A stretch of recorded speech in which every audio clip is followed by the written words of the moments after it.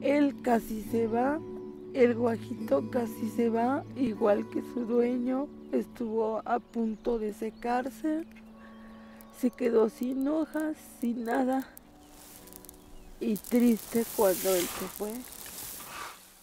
La gente del pueblo de mi abuela tiene una creencia. Después de que un campesino muere, la siguiente siembra que se hace en su terreno es muy productiva. Como si de alguna manera el difunto se quedara una temporada más a trabajar cuando nadie lo ve.